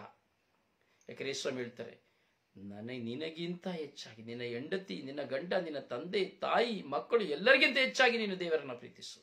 ಹೀಗೆ ದೇವರಿಗಿಂತ ಹೆಚ್ಚಾಗಿ ಪ್ರೀತಿಸುವ ಯಾವುದೊಂದು ಸಹ ವಿಗ್ರಹವೇ ಪ್ರೀಸಲೋ ಪ್ರೀಸಲೋ ಪ್ರೀಸಲೋ ನಿನ್ನ ಕೈಯಲ್ಲಿ ಒಂದು ಕಾರಿದೆ ತೊಳೆದು ಒರೆಸಿ ಒರೆಸಿ ಒರೆಸ್ಬೇಕು. ಅಯ್ಯೋ ಕಾರ್ ಇಲ್ಲದೆ ನನಗೆ ಆಗೋದಿಲ್ಲ ಸ್ಕೂಟರ್ ಇದೆ ಅದು ಒಂದು ವಿಗ್ರಹ. ಯಾವುದೆಲ್ಲ ನನಗೆ ಆಕರ್ಷಣೆಯಾಗಿ ನಾನು ಅದಕ್ಕೆ ಗುಲಾಮನಾಗ್ತೇನೆ ಅದೆಲ್ಲವೂ ಒಂದು ವಿಗ್ರಹವೇ. ದೇವರಿಗಿಂತ ಹೆಚ್ಚಾಗಿ, ದೇವರ ವಾಕ್ಯಕ್ಕಿಂತ ಹೆಚ್ಚಾಗಿ ಪ್ರೀತಿಸುವ ಯಾವೊಂದು ವಿಗ್ರಹವಾಗಿದೆ? ವಿಗ್ರಹ ಪೂಜೆಯಾಗಿದೆ. ಎಷ್ಟು ಜನ ದೇವರ ವಾಕ್ಯವನ್ನು ಗೌರವಿಸ್ತಾ ಇದ್ದೇವೆ? ಎಷ್ಟು ಜನ ದೇವರ ವಾಕ್ಯವನ್ನು ಪ್ರೀತಿಸ್ತಾ ಇದ್ದೇವೆ? ವಾಕ್ಯ ಹೇಳ್ತದೆ, ನಿನ್ನ ಆಣೆಯ ಮೇಲೆ ದೇವರ ವಾಕ್ಯವನ್ನು ಬರೆದುಕೋ, ನಿನ್ನ ತೋಳುಗಳಲ್ಲಿ ಪಟ್ಟಿಯಾಗಿ ಕಟ್ಟಿಕೋ, ನಿನ್ನ ಮನೆಯ ವಸ್ತಿಲ ಮೇಲೆ ದೇವರ ವಾಕ್ಯವನ್ನು ಹಾಕು, ನಿನ್ನ ನಿಲುವಂಗಿ, ನಿನ್ನ ಬಟ್, ಮನೆಯ ಬಾಗಿಲ ಮೇಲೆ ದೇವರ ವಾಕ್ಯವನ್ನು ಹಾಕು. ಎಷ್ಟು ಜನರ ಮನೆಯಲ್ಲಿ ಇವತ್ತು ದೇವರ ವಾಕ್ಯ ಹಾಕಿದ್ದೇವೆ. ಎಷ್ಟು ಜನರ ಹೃದಯದಲ್ಲಿ ದೇವರ ವಾಕ್ಯವಿದೆ. ಎಷ್ಟು ಜನರ ಅಣಿಯಲ್ಲಿ ಅದರ ತಲೆಯಲ್ಲಿ ದೇವರ ವಾಕ್ಯವಿದೆ. ಎಷ್ಟು ಜನರ ದೇವರ ವಾಕ್ಯವನ್ನು ಗೌರವಿಸ್ತಾ ಇದ್ದೇವೆ. ಧ್ಯಾನಕ್ಕೆ ಹೋಗ್ಬಿಟ್ರೆ ಪ್ರಯೋಜನ ಇಲ್ಲ. ಯಾರ್ದೋ ಧ್ಯಾನ ಕೇಳಿ ಹೋಗ್ಬಿಟ್ರೆ, ಅಯ್ಯೋ, ಅವ್ರು ಪವರ್ಫುಲ್ ಬಂದಿದ್ದಾರೆ ಅಯ್ಯೋ, ನಿಮ್ ಬಾಯಿಗೆ ಸಕ್ಕರೆ ಅಕ್ಕ ಯಾವ ಪವರ್ಫುಲ್ ಬಂದು ನಿನ್ ಧ್ಯಾನಕ್ಕೆ ಹೋಗಿ ಕುತ್ಕೊಂಡ್ರು ಪ್ರಯೋಜನ ಇಲ್ಲ. ನೀನ್ ಯಾ, ಅಲ್ಲಿಯೂ ಸಹ ನೀನು ಯಾರನ್ನ ನೋಡಿ ಹೋದೆ? ಮನುಷ್ಯನನ್ನ ನೋಡಿ ಹೋದ್ರೆ ಅದು ವಿಗ್ರಹ ಪೂಜೆ. ಶುಭ ಸಂದೇಶನ ಈ ಲೋಕದಲ್ಲಿ ಲಕ್ಷಾಂತರ ಜನ, ಸಾವಿರಾರು ಜನ, ನೂರಾರು ಜನ ಸಾರ್ತಾರೆ. ಶುಭ ಸಂದೇಶನು ಸಾರುವ ಪ್ರತಿಯೊಬ್ಬರ ವಾಕ್ಯಗಳನ್ನು, ಅಯ್ಯೋ, ಇವತ್ತು ಶುಭ ಸಂದೇಶ ಸಾರುತ್ತಾ ಇದೆ. ನಾನು ಶುಭ ಸಂದೇಶ ಕೇಳಲಿಕ್ಕೆ ಹೋಗಬೇಕು ಎಂದು ನಿನ್ನ ಮುಂದೆ ಯಾವುದೇ ವ್ಯಕ್ತಿ ಶುಭ ಸಂದೇಶನ ಸಾರುವಾಗ, ಅವರ ಹಿಂದೆ ಹೋಗುವಾಗ ನೀನು ದೇವರ ಕೃಪೆಗೆ ಪಾತ್ರನು. ವಿಗ್ರಹಾರಾಧಕನಲ್ಲ, ಅಥವಾ ಒಂದೇ ಒಂದು ವ್ಯಕ್ತಿ, ಅಯ್ಯೋ, ಇಂಥ ವ್ಯಕ್ತಿ ಬರ್ತಾರೆ. ಅವರು ಪವರ್ಫುಲ್ ಅವರ ಹಿಂದೆ ನಾನು ಹೋಗುತ್ತೇನೆ. ಅವರದೇ ಶ್ರೇಷ್ಠ ಎಂದು ನೀನು ಅವರ ಹಿಂದೆ ಹೋದರೆ, ಅದು ವಿಗ್ರಹ ಪೂಜೆಗೆ ಸಮಾನ. ಯಾಕೆ ಒಂದು ವ್ಯಕ್ತಿಯ ಬಾಯಲ್ಲಿ ಮಾತ್ರವೇ ದೇವರು ಶುಭ ಸಂದೇಶವನ್ನು ಇಟ್ಟಿರುವಂಥದ್ದು ದೇವರ ವಾಕ್ಯವನ್ನು ಇಟ್ಟಿರುವಂಥದ್ದು ಇಲ್ಲ. ಸಾವಿರಾರು ಲಕ್ಷಾಂತರ, ಕೋಟ್ಯಾಂತರ ಮಕ್ಕಳ ಮುಂದೆ ಬಾಯಿಂದ ದೇವರ ವಾಕ್ಯವನ್ನು ಇಟ್ಟಿರುವ ಪ್ರತಿಯೊಬ್ಬರ ದೇವರಿಂದ ಆಯ್ಕೆಯಾದವರು ಕರೆ ಹೊಂದಿದವರು ಹೀಗೆ ಮನುಷ್ಯನನ್ನ, ಮನುಷ್ಯನ ರೂಪವನ್ನ, ಮನುಷ್ಯನ ಯಾವುದೋ ಒಂದು ವ್ಯಕ್ತಿ, ವಾಕ್ಯವನ್ನ ಹಿಡಿದುಕೊಂಡು ಅವರೇ ಶ್ರೇಷ್ಠ ಎಂದು ಒಂದು ವ್ಯಕ್ತಿಯ ಹಿಂದೆ, ಎರಡು ವ್ಯಕ್ತಿಯ ಹಿಂದೆ ನಾನು ಸೆಲೆಕ್ಟೆಡ್ ಪರ್ಸನ್ ಆಗಿ ನಾನು ಹೋಗುವುದಾದರೆ ಅದು ವಿಗ್ರಹ ಪೂಜೆಗೆ ಸುಡನ ಯಾಕೆ? ಒಂದು ಬಡವನಾಗಿ ಶುಭ ಸಂದೇಶ ಸಾರುವನ ಬಾಯಿಂದ ಬರುವಂಥದ್ದು ಅಮೂಲ್ಯವಾದ ದೇವರ ವಾಕ್ಯವಲ್ಲವೇ? ಅಥವಾ ಮಧ್ಯಮ ವರ್ಗದಲ್ಲಿ ಇದು ಶುಭ ಸಂದೇಶ ಸಾರುವುದು ದೇವರ ವಾಕ್ಯವಲ್ಲವೇ? ಅಥವಾ ಒಂದು ಅಭಿಷಕ್ತ ಗುರುವಾಗಿ ದೇವರ ವಾಕ್ಯ ಸಾರುವುದು ದೇವರ ವಾಕ್ಯವಲ್ಲವೇ? ಅಥವಾ ಒಂದು ಕನ್ಯಾಸ್ತ್ರೀಯಾಗಿ, ಒಂದು ಸಭಾಪಾಲಕನಾಗಿ ಪಾಸ್ಟರ್ ಆಗಿ ಒಬ್ಬ ಸಾಧಾರಣ ಶುಶ್ರೂಷಕನಾಗಿ ಶುಭ ಸಂದೇಶ ಸಾರುವಂಥದ್ದು ದೇವರ ವಾಕ್ಯವಲ್ಲವೇ? ಅವರ ಬಾಯಿಂದ ಬರುವುದು ದೇವರ ವಾಕ್ಯವಲ್ಲವೇ? ಒಂದು ವ್ಯಕ್ತಿಯಿಂದ ಮಾತ್ರವೇ ದೇವರ ವಾಕ್ಯ ಬರುವುದು. ಈಗ ಮನುಷ್ಯನನ್ನು ಮಾತ್ರ ಹಿಂಬಾಲಿಸಿ ಹೋಗುವುದು ದೇವರ ಮುಂದೆ ಒಂದು ವಿಗ್ರಹ ಪೂಜೆಗೆ ಸಮಾನವಾಗುತ್ತದೆ. ಪ್ರಿಸಲೋ ಪ್ರಿಸಲೋ ಕೇಳು, ಎಲ್ಲರ ವಾಕ್ಯವನ್ನ ಕೇಳು. ಎಲ್ಲಿ ದೇವರ ವಾಕ್ಯ ಇರ್ತದೋ ಅಲ್ಲಿ ಎಲ್ಲ ಹೋಗು. ಅಲ್ಲಿ ಎಲ್ಲ ಯಾಕೆ? ನೀನು ದೇವರ ವಾಕ್ಯಕ್ಕೆ ನಾನು ಗೌರವ ಕೊಡಬೇಕು. ಮನುಷ್ಯನಿಗಲ್ಲ. ಮನುಷ್ಯನಿಗಲ್ಲ. ಪ್ರಿಸಲೋ ಪ್ರಿಸಲೋ ಪ್ರಿಸಲೋ ಪ್ರೇ ತುಂಬ, ಆದರೆ ಇದು ಇದು ಹೇಳೋದು ಕೆಲವು ಸಂಗತಿಗಳು ತುಂಬ ಗ್ರೋತ್ ನೀವು ಈ ಕ್ಷಣ ನಿಮ್ಮ ಮುಂದೆ ನಾನು ಹೇಳ್ತಾ ಇರುವಂತಹ ಮಾತುಗಳು ಉನ್ನತವಾದದ್ದು, ಅಂದರೆ ಆಳವಾದದ್ದು, ದೀರ್ಘವಾದದ್ದು, ಸತ್ಯವಾದದ್ದು. ಕೆಲವರಿಗೆ ಈ ವಿಷಯವನ್ನು ಕುರಿತು ವಾಕ್ವಾದವನ್ನು ಸಹ ಮಾಡಲು ಸಿದ್ಧ, ಆದರೆ ಸೋಲೆ ಸೋಲೆ. ಸರಿಯಾಗಿ ಯೋಚನೆ ಮಾಡಿ ನೋಡಿ. ದೇವರ ಒಬ್ಬ ವ್ಯಕ್ತಿ ಶುಭ ಸಂದೇಶವನ್ನು ಸಾರುತ್ತಾನೆ ಎಂಬುದಾದರೆ ಎಲ್ಲರೂ ದೇವರ ವಾಕ್, ದೇವರಿಂದ ಕರೆ ಒಂದು ಶುಭ ಸಂದೇಶವನ್ನು ಸಾರುತ್ತಾರೆ. ಸಾರುವ ಶುಭ ಸಂದೇಶದಲ್ಲಿ ವ್ಯತ್ಯಾಸಗಳಿಲ್ಲ. ದೇವರನ್ನು ಆರಾಧಿಸುವುದರಲ್ಲಿ ವ್ಯತ್ಯಾಸವಿಲ್ಲ. ದೇವರನ್ನ ಮಹಿಮೆ ಪಡಿಸುವುದರಲ್ಲಿ ವ್ಯತ್ಯಾಸವಿಲ್ಲ. ನೀನು ಚೇರ್ನಲ್ಲಿ ಕುಳಿತರೂ ಸಹ, ಸೋಫಾದಲ್ಲಿ ಕುಳಿತರೂ ಸಹ. ಇವತ್ತು ನೋಡಿ ಐಟೆಕ್ ಒಂದು ಧ್ಯಾನಕ್ಕೆ ನಾಲ್ಕು ಸಾವಿರ ರೂಪಾಯಿ, ಐದು ಸಾವಿರ ರೂಪಾಯಿ. ಎಲ್ಲಿ? ಹೋಟೆಲಿನಲ್ಲಿ ಫಿಕ್ಸ್ ಮಾಡಿ. ಒಂದು ಧ್ಯಾನಕ್ಕೆ ಹದಿನೈದು ಸಾವಿರ ರೂಪಾಯಿ, ಹದಿನೆಂಟು ಸಾವಿರ ರೂಪಾಯಿ ಎಲ್ಲಿ ಹೋಟೆಲಲ್ಲಿ ಫಿಕ್ಸ್ ಮಾಡಿ. ಹೋಟೆಲ್ಗಳಲ್ಲಿ ಮಾಡ್ತಾ ಇದ್ದಾರೆ. ಹದಿನೈದು ಸಾವಿರ, ಹದಿನಾರು ಸಾವಿರ ಒಂದು ಧ್ಯಾನಕ್ಕೆ. ಐಫೈ ರಿಟ್ರೀಟ್ಸ್ ಅಲ್ಲಿ ಯಾರು ಬರೋದು? ಐಫೈನವ್ರು ಬರೋದು. ಅಲ್ಲಿಯೂ ವಿಜೃಂಭಣೆಯ ಊಟ, ವಿಜೃಂಭಣೆಯ ಹಾಸಿಗೆ, ವಿಜೃಂಭಣೆಯ ಹೋಟೆಲ್. ಯೋಚನೆ ಮಾಡಿ ನೋಡಿ. ಧ್ಯಾನ ಮಂದಿರಗಳನ್ನ ನಾವು ನೋಡ್ತೇವೆ. ಕೆಲವು ಧ್ಯಾನ ಮಂದಿರಗಳಲ್ಲಿ ಕೇವಲ ಬೆರಳೆಣಿಕೆಯ ಜನ. ಇನ್ನೊಂದು ಧ್ಯಾನ ಮಂದಿರ, ಅಯ್ಯೋ, ಅಲ್ಲಿ ಎಷ್ಟು ಧ್ಯಾನ ಮಂದಿರ, ಅಯ್ಯೋ, ಆ ಧ್ಯಾನ ಮಂದಿರ ಇಷ್ಟು ಜನ. ಈ ಧ್ಯಾನ ಮಂದಿರಗಳ ವ್ಯತ್ಯಾಸವೇನು? ಧ್ಯಾನ ಮಂದಿರಗಳಲ್ಲಿ ದೇವರ ವಾಕ್ಯ ವ್ಯತ್ಯಾಸವಿದೆಯೇ? ಧ್ಯಾನ ಮಂದಿರಗಳ ಶುಶ್ರೂಷೆಗಳಲ್ಲಿ ವ್ಯತ್ಯಾಸವಿದೆಯೇ? ಧ್ಯಾನ ಕೊಡುವ ಗುರುವೋ ಶುಶ್ರೂಷಕನಲ್ಲಿ ವ್ಯತ್ಯಾಸ, ಸಾರುವಂತ ವಾಕ್ಯಗಳ ವ್ಯತ್ಯಾಸವಿದೆಯೇ? ಧ್ಯಾನ ಮಂದಿರಗಳಲ್ಲಿ ತಾರತಮ್ಯ. ಯಾಕೆ? ಇದು ಒಂದು ವಿಗ್ರಹ ಪೂಜೆಗೆ ಸಮಾನವಾದದ್ದು. ನೀನು ಯಾವ ಧ್ಯಾನ ಮಂದಿರಕ್ಕೆ ಹೋದರೂ ದೇವರ ವಾಕ್ಯವನ್ನು ಕೇಳಲಿಕ್ಕೆ ಹೋಗಬೇಕಷ್ಟೇ ಅದ್ಭುತಗಳನ್ನು ನೋಡುವುದಕ್ಕಾಗಿ ಅಲ್ಲ. ಪ್ರಿಯರೇ, ಯಾವ ಬ್ರದರ್ಗಳು ಫಾ- ಪ್ರಾರ್ಥನೆ ಮಾಡುವುದರಿಂದ, ಯಾವ ಕನ್ಯಾಸ್ತ್ರೀ ಪ್ರಾರ್ಥನೆ ಮಾಡುವುದರಿಂದ, ಯಾವ ಫಾದರ್ಗಳು ಪ್ರಾರ್ಥನೆ ಮಾಡುವುದರಿಂದ ಅದ್ಭುತಗಳು ನಡೆಯುವುದಿಲ್ಲ. ನಿನ್ನ ಜೀವಿತದಲ್ಲಿ ಯಾವ ಸಮಯದಲ್ಲಿ, ಯಾವ ಕಾಲದಲ್ಲಿ ಅದ್ಭುತವು ನಡೆಯಬೇಕೆಂಬುದಾಗಿ ದೇವರು ಇಚ್ಛಿಸಿರುತ್ತಾರೋ ಅದು ಆ ಗಳಿಗೆಯಲ್ಲಿ ನಡೆಯುತ್ತದೆ. ಅದು ದೇವರ ಕರುಣೆಯಿಂದ ಮಾತ್ರವೇ ಹೊರತು ಯಾವ ವ್ಯಕ್ತಿಯ ಪ್ರಾರ್ಥನೆಯಿಂದ ಅಲ್ಲ. ದೇವರ ಮಹತ್ವವನ್ನು ಮಹಿಮೆಯನ್ನು ಕಾಡುವಂಥದ್ದು ಯಾವುದೇ ಬ್ರದರೋ, ಫಾದರೋ ಸಿಸ್ಟರಿಂದ ಅಲ್ಲ. ಯಾವ ಸಭಾಪಾಲಕ ಪಾಸ್ಟ್ರಿಂದ ಅಲ್ಲ, ಯಾವ ಇಂಟರ್ನ್ಯಾಷನಲ್ ಪ್ರೀಚರ್ ಇಂದ ಅಲ್ಲ, ಯಾವ ದೆವ್ವ ಬಿಡಿಸುವ ಅದ್ಭುತ ಮಾಡುವವನಿಂದ ಅಲ್ಲ, ದೇವರ ಕರುಣೆಯಿಂದ ಮಾತ್ರವೇ, ದೇವರ ಕರುಣೆಯಿಂದ ಮಾತ್ರವೇ. ತಕ್ಕ ಸಮಯ ಬರುವಾಗ ಮಾತ್ರವೇ ಅದನ್ನ ಬಿಟ್ಟು ನಾವೇನ್ ಮಾಡ್ತೀವಿ? ಅಯ್ಯೋ, ಆ ಬ್ರದರ್ ಪ್ರಾರ್ಥನೆ ಮಾಡುವಾಗ ನನಗೆ ಅದ್ಭುತ ನಡೀತು. ಈ ಫಾದರ್ ಮಾಡುವಾಗ ನನಗೆ ಅದ್ಭುತ ನಡೀತು. ಆ ಧ್ಯಾನ ಮಂದಿರಕ್ಕೆ ಹೋದಾಗ ಅದ್ಭುತ ನಡೀತು. ಇಲ್ಲ ಇಲ್ಲ ಇಲ್ಲ. ದೇವರು ನಿಯೋಜಿಸಿದ ಒಂದು ಸಮಯ. ನಿನ್ನ ದೇವರ ವಾಕ್ಯ ಹೇಳ್ತದೆ, ನಿನ್ನ ಜೀವಿತದಲ್ಲಿ ನಿನ್ನನ್ನು ಕುರಿತ ಪದ್ಧತಿ ನೆರವೇರಬೇಕೆಂಬುದನ್ನ, ಯಾವಾಗ ನೆರವೇರಬೇಕೆಂಬುದನ್ನು ನಾನು ತೀರ್ಮಾನಿಸಿದ್ದೇನೆ. ನೀನು ಸಾಯಬೇಕು. ಸಾಯಲೇಬೇಕು. ನೌಕ ಆಗೋದಿಲ್ಲ ತಪ್ಪಿಸಿಕೊಳ್ಳಿಕ್ಕೆ. ಸಾಯ್ಬೇಕು ನೀನು ಆತ್ಮಹತ್ಯೆ ಮಾಡಿ ಸಾಯ್ಬೇಕು ಅಂದ್ರೆ ನೀನು ಆತ್ಮಹತ್ಯೆ ಮಾಡಿಯೇ ಸಾಯ್ಬೇಕು. ನೋ ಕನ್ಸ್ ಚೇಂಜಸ್ ಇಲ್ಲ. ನೀನು ಅಪಘಾತದಲ್ಲಿ ಸಾಯ್ಬೇಕು ಅಂದ್ರೆ ನೋ ಚೇಂಜಸ್ ನೀನು ರೋಗದಲ್ಲಿ ಸಾಯ್ಬೇಕು ಅಂದ್ರೆ ನೋ ಚೇಂಜಸ್ ನಿನ್ಗೆ ಹಾರ್ಟ್ ಅಟ್ಯಾಕ್ ಆಗ್ಬೇಕು ಅಂದ್ರೆ ನೋ ಚೇಂಜಸ್ ನಾನೀಗ ಶುಭ ಸಂದೇಶ ಸಾರ್ತಾ ಇದ್ದೇನೆ. ಈ ಸಾರುವ ಈ ಕ್ಷಣದಲ್ಲೇ ನಾನು ಸಾಯ್ಬೇಕು ಅಂದ್ರೆ no changes no concession and no changes ಎಲ್ಲವೂ ವಿಧಿಸಲ್ಪಟ್ಟಿದೆ. ನಿನ್ನ ಜೀವಿತದಲ್ಲಿ, ನನ್ನ ಜೀವಿತದಲ್ಲಿ ನಾನು ಹೇಗೆ ಈ ಲೋಕದಲ್ಲಿ ಜೀವಿಸಬೇಕೆಂಬುದನ್ನ ದೇವರು ನಾನು ಹುಟ್ಟುವ ಸಮಯದಲ್ಲಿಯೇ ತೀರ್ಮಾನಿಸಿದ್ದಾರೆ. ಅದರಿಂದ ಯಾವ ಮನುಷ್ಯನು ತನ್ನ ಜೀವಿತದಲ್ಲಿ ನಡೆಯುವುದನ್ನು ಬದಲಾಯಿಸಿಕೊಳ್ಳಲು ಸಾಧ್ಯವೇ ಇಲ್ಲ.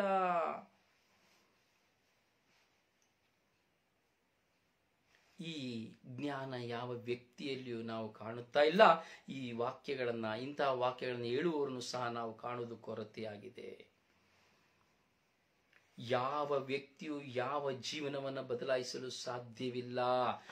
ವಾಕ್ಯವನ್ನ ಕೇಳುವಾಗ, ಆ ವಾಕ್ಯವನ್ನ ಗೌರವಿಸುವಾಗ, ಆ ವಾಕ್ಯದ ನಿಮಿತ್ತವಾಗಿ ಪಶ್ಚಾತ್ತಾಪ ಪಡುವಾಗ ಮಾತ್ರವೇ ನಮ್ಮ ಜೀವಿತದಲ್ಲಿ ದೇವರನ್ನ ಕಂಡುಕೊಳ್ಳಲು ಸಾಧ್ಯ? ನಾವು ಬಿಡುಗಡೆ ಹೊಂದಲು ಸಾಧ್ಯ ಅಥವಾ ಸೌಖ್ಯ ಹೊಂದಲು ಸಾಧ್ಯ? ಇಲ್ಲಿ ಯಾವ ಮನುಷ್ಯನನ್ನು ನೋಡಿ, ಯಾವ ವ್ಯಕ್ತಿಯನ್ನು ನೋಡಿ, ಯಾವ ಅಂದಚಂದವನ್ನು ನೋಡಿ, ಯಾವ ಧ್ಯಾನ ಮಂದಿರಗಳನ್ನು ನೋಡಿ ಎಲ್ಲ ಸಿಕ್ಕುವಂಥದ್ದು.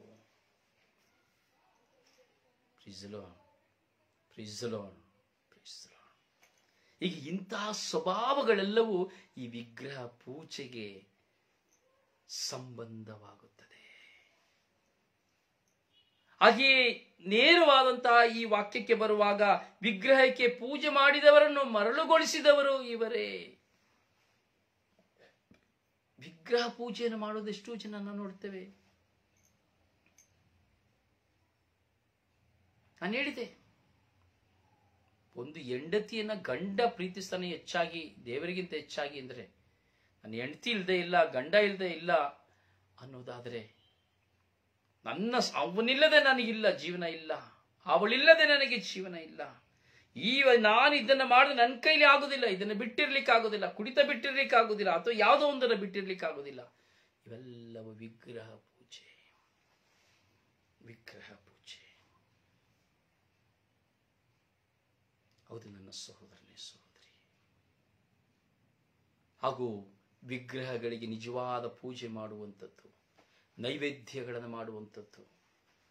ಹಲವಾರು ವಿಧದಲ್ಲಿ ವಿಗ್ರಹಗಳ ಮೇಲೆ ಹಲವಾರು ವಿಧದ ನೈವೇದ್ಯಗಳನ್ನು ಸುರಿದು, ಆ ವಿಗ್ರಹಗಳೇ ದೇವರೆಂದು ಅವುಗಳ ಮುಂದೆ ಅಡ್ಡಬಿದ್ದು, ಅವುಗಳನ್ನು ಆರಾಧಿಸುತ್ತಾ ದೇವರನ್ನ ಮರೆಯುವಂಥದ್ದು. ವಿಗ್ರಹ ಪೂಜೆ ಪ್ರೀಸಲು ಪ್ರೀಸಲು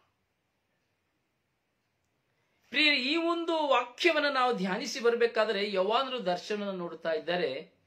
ಇವರಿಬ್ಬರು ಸಹ ಯಾರು? ಈ ವಿಗ್ರಹಾರಾಧನೆ ಮಾಡಿದವರು, ಈ ಮುದ್ರೆ ಒತ್ತಿಸಿಕೊಂಡವರು ಈ ಕಪಟ ಪ್ರವಾದಿಗಳಾಗಿರೋರನ್ನ ನೋಡು ಇವರಿಬ್ಬರು ಸಹ ಜೀವ ಸಹಿತ ಹಿಡಿದು ಗಂಧಕದಿಂದ ಉರಿಯುವ ಅಗ್ನಿ ಸರೋವರಕ್ಕೆ ಎಸೆಯಲಾಯಿತು.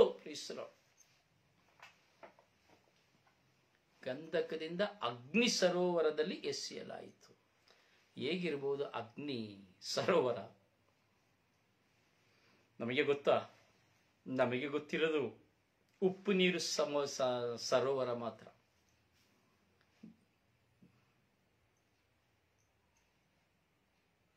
ಉರಿಯುವ ಅಗ್ನಿ ಸರೋವರ ನಮಗೆ ಗೊತ್ತಿಲ್ಲ, ಉರಿಯುವ ಬೆಂಕಿ ಮಾತ್ರ ನಮಗೆ ಗೊತ್ತು.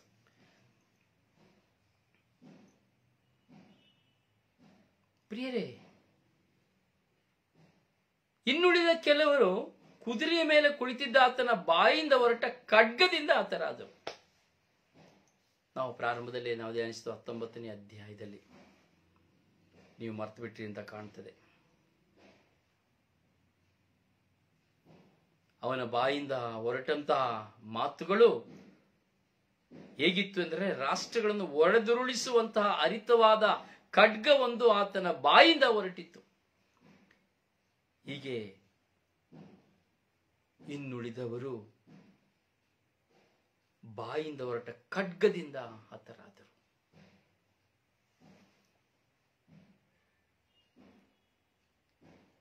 ಮಾತ್ರವಲ್ಲ, ಆಕಾಶದಲ್ಲಿ ಹಾರಾಡುವ ಪಕ್ಷಿಗಳಿಗೆ ಆಹಾರವಾದರು. ಪ್ರಿಯರೇ, ನಾವು ಈ ಪ್ರಕಟಣಾ ಗ್ರಂಥವನ್ನ ಎಪ್ಪತ್ತೈದನೇ ಭಾಗದವರೆಗೂ ನಾವು ಬಂದಿದ್ದೇವೆ. ಇನ್ನು ಎರಡು ಅಧ್ಯಾಯಗಳು ನಮ್ಮ ಮುಂದೆ ಇದೆ. ಇಪ್ಪತ್ತು, ಇಪ್ಪತ್ತೊಂದು, ಇಪ್ಪತ್ತೆರಡು, ಮೂರು ಅಧ್ಯಾಯಗಳು ನಮ್ಮ ಮುಂದೆ ಇದೆ. ಈ ಮೂರು ಅಧ್ಯಾಯಗಳು ಇನ್ನು ನಾವು ಧ್ಯಾನಿಸುವಂತಹ ಮೂರು ಅಧ್ಯಾಯಗಳು ಯೇಸುವಿನ ಪುನರುತ್ಥಾನವನ್ನು ಕುರಿತು, ಸೈತಾನನ ಸರ್ವನಾಶವನ್ನು ಕುರಿತು, ಅಂತಿಮ ತೀರ್ಪನ್ನು ಕುರಿತು, ನೂತನ ಭೂಮಿ ಆಕಾಶವನ್ನು ಕುರಿತು, ಹಾಗೂ ನೂತನ ಜೆರುಸಲೇಮನ ಕುರಿತು, ಹಾಗೂ ದೇವರ ದಾಸರ ಸೌಭಾಗ್ಯವನ್ನು ಕುರಿತು ಮುಕ್ತಾಯ ವಿಧಿಯೊಂದಿಗೆ ಮುಕ್ತಾಯಗೊಳ್ಳುತ್ತದೆ ಈ ಪ್ರಕಟಣಾ ಗ್ರಂಥದ ಸನ್ನಿವೇಶ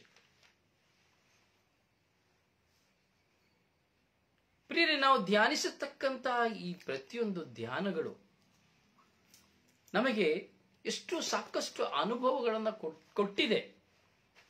ಇಲ್ಲಿಯೂ ಸಹ ಸ್ವರ್ಗೀಯಾತ್ರೆಯ ಮುಂದೆಯೂ ಸಹ ನೋಡುವುದಾದರೆ ತಾರತಮ್ಯನ ನೋಡ್ತೇವೆ. ಅಯ್ಯೋ, ಆ ಬ್ರದರ, ಏ, ಬೇಡಪ್ಪ.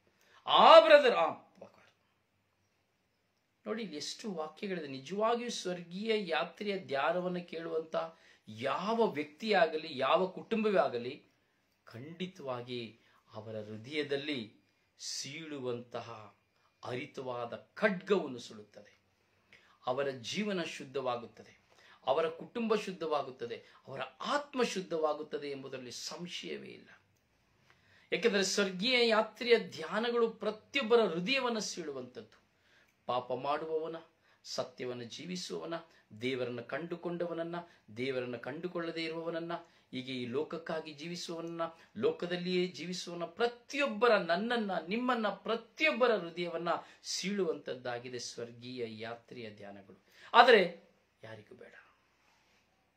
ನಾನು ನೋಡಿದೆ ನಿನ್ನೆ ಒಂದು ಹೆಣ್ಣು ಮಗಳು ಯೂಟ್ಯೂಬ್ನಲ್ಲಿ ಒಂದು ಚಿಕ್ಕ ಸಂದೇಶವನ್ನ, ಹತ್ತು ನಿಮಿಷದ ಸಂದೇಶವನ್ನ ಅವಳು ಪ್ರೊಡ್ಯೂಸ್ ಮಾಡ್ತಾಳೆ. ನಾಲ್ಕು ನಿಮಿಷ, ಹತ್ತು ನಿಮಿಷ ಈ ಒಂದು ಸಂದೇಶಗಳನ್ನ ಅವಳು ಪ್ರೊಡ್ಯೂಸ್ ಮಾಡ್ತಾಳೆ. ಅವಳನ್ನ ವ್ಯೂ ಮಾಡುವವರ ಸಂಖ್ಯೆ ಒಂಬೈನೂರ ನಾಲ್ಕು ಸಾವಿರ ಜನ. ಎಷ್ಟು ಒಂಬೈನೂರ ನಾಲ್ಕು ಸಾವಿರ ಜನ. ತೊಂಬತ್ತು ನಾಲ್ಕು ಸಾವಿರ ಜನ. ಒಂದು ಅಂದರೆ ಸಾವಿರ. ಹತ್ತು ಅಂದರೆ ಹತ್ತು ಸಾವಿರ. ಒಂಬತ್ತು ಅಂದರೆ ತೊಂಬತ್ತು ಸಾವಿರ. ಇಲ್ಲಿ ನಾನು ನೋಡ್ತೇನೆ, ತೊಂಬತ್ತು, ಒಂಬೈನೂರ ನಾಲ್ಕು ಸಾವಿರ. ಲೆಕ್ಕ ಕೊಡಿ, ಒಂದಕ್ಕೆ ಒಂದು ಸಾವಿರ. ಇಲ್ಲಿ ಒಂಬೈನೂರ ಒಂದು ಸಾವಿರ. ಆಕೆಯ ಸಂದೇಶಗಳೇನು ಗೊತ್ತಾ? ಸೆಕ್ಸ್ ಅಂದರೆ ಹೇಗೆ ಮಾಡಬೇಕು? ಸೆಕ್ಸ್ ತೃಪ್ತಿಕರವಾಗಿ ಆಗಬೇಕು ಅಂದರೆ ಏನು ಮಾಡಬೇಕು? ಸೆಕ್ಸನ್ನು ತುಂಬ ಹೊತ್ತು ಮಾಡಬೇಕು ಅಂದರೆ ಏನು ಮಾಡಬೇಕು? ವೈದ್ಯಕೀಯವಾಗಿ, ಸಾಮಾಜಿಕವಾಗಿ. ಸೊ ಅವಳ ಅನುಭವದ ನಿಮಿತ್ತವಾಗಿಯೂ ಅವಳು ಕಾರ್ಯವನ್ನು ಬಿತ್ತರಿಸ್ತಾಳೆ. ಹಾಗೆ ನಾನು ನೋಡಿದೆ, ಹಲವಾರು ಹೆಣ್ಣು ಮಕ್ಕಳು ಸೆಕ್ಸ್ ಬಗ್ಗೆ ಮಾತ್ರ ಮಾತನಾಡ್ತಾರೆ. ಇವರ ವ್ಯೂಗಳನ್ನ ನೋಡಲಿಕ್ಕೆ ಲಕ್ಷಾಂತರ ಜನ ಬರ್ತಾರೆ ಪ್ರತಿದಿನ. ಪ್ರತಿದಿನ. ಆದರೆ ನೋಡಿ, ಇವತ್ತು ದೇವರ ವಾಕ್ಯವನ್ನ ಆಲಿಸ್ಲಿಕ್ಕೆ ಎಷ್ಟೋ ಜನ ಶುಶ್ರೂಷಕರು ದೇವರ ವಾಕ್ಯವನ್ನು ಸಾರ್ತಾ ಇದ್ದಾರೆ. ಎಷ್ಟು ಜನ ದೇವರ ವಾಕ್ಯಕ್ಕೆ ಕಿವಿಗೊಡ್ತಾ ಇದ್ದಾರೆ. ಹಾಗೂ ಎಷ್ಟು ಜನ ಕೇವಲ ಬರೀ ಒಂದೇ ವ್ಯಕ್ತಿಯನ್ನು ಹಿಂಬಾಲಿಸಿಕೊಂಡು ಹೋಗ್ತಾ ಇದ್ದಾರೆ. ಅಥವಾ ಎಷ್ಟು ಜನ ಎಲ್ಲರ ವಾಕ್ಯ ದೇವರ ವಾಕ್ಯ ಎಂದು ಗೌರವಿಸ್ತಾ ಇದ್ದಾರೆ?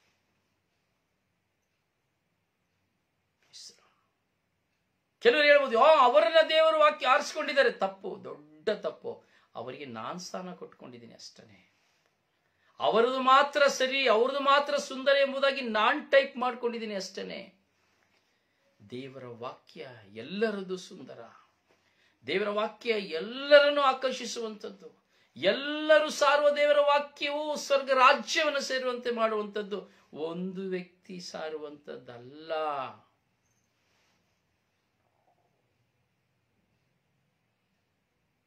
ಹೀಗಿರುವಾಗ ನಮ್ಮ ಜೀವಿತದಲ್ಲಿ ನಾವು ತುಂಬ ಆಳವಾಗಿ ಚಿಂತಿಸಬೇಕು. ದೇವರ ವಾಕ್ಯ, ಪ್ರತಿಯೊಬ್ಬರಿಂದ ಬರುವ ವಾಕ್ಯಗಳೆಲ್ಲವೂ ದೇವರ ವಾಕ್ಯವೇ. ಪ್ರತಿಯೊಂದು ಧ್ಯಾನ ಮಂದಿರಗಳಲ್ಲಿ ಹೊರಬರುವಂಥದ್ದು ದೇವರ ವಾಕ್ಯವೇ. ಆದರೆ ನನ್ನ ಜೀವಿತದಲ್ಲಿ ನಾನು ಹೇಗೆ ಜೀವಿಸ್ತಾ ಇದ್ದೇನೆ? ಒಂದು ಕಪಟ ಪ್ರವಾದಿಯಾಗಿ ಜೀವಿಸ್ತಾ ಇದ್ದೇನಾ? ಅಥವಾ ವಿಗ್ರಹ ಪೂಜೆ ಮಾಡುವವನಾಗಿ ಜೀವಿಸ್ತಾ ಇದ್ದೇನಾ? ಅಥವಾ ಅದ್ಭುತಗಳಿಗಾಗಿ ಜೀವಿಸ್ತಾ ಇದ್ದೇನಾ? ದೇವರು ಕೊಟ್ಟಂತ ಅದ್ಭುತಗಳನ್ನು ನಾನು ದುರುಪಯೋಗ ಪಡಿಸ್ತಾ ಇದ್ದೇನಾ?